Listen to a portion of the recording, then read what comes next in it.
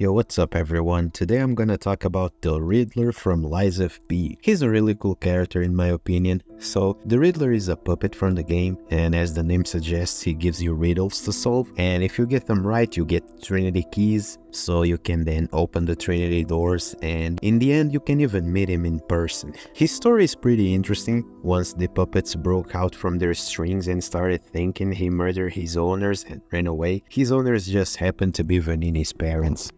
The Riddler decided to do whatever he wants after realizing he can't think and he's like a human because he can't think for his own and take actions according to what he wants. So he then gives Pinocchio the riddle so he realizes he's also a human, technically speaking, and this reminds me of none other than Hisoka. Pinocchio and the Riddler's relationship is like Hisoka and Gon's to a certain point. The Riddler is showing Pinocchio they are no different from humans and they can do whatever they want. They all think and they can feel things just like Polendina falling in love with Lady Antonia. So this makes the Riddler a pretty cool character. His last question is if Pinocchio is human or not, which shows he's reached his life goal of doing whatever he wants and living with no consequences, while showing other puppets they are no different from humans. It's a weird situation to think about the fact that he's killed Venigni's parents, but it's kind of the same situation for Pinocchio and Geppetto. Geppetto created Pinocchio only to serve him, while the Riddler's purpose was serve Venigni's house, just like Pinocchio refusing to give his heart to Geppetto, the Riddler refused to keep being enslaved and got away for his life. Pretty interesting to see the relationship between all the characters. Such a great game. That's about it. Let me know what you think about the Riddler. See around.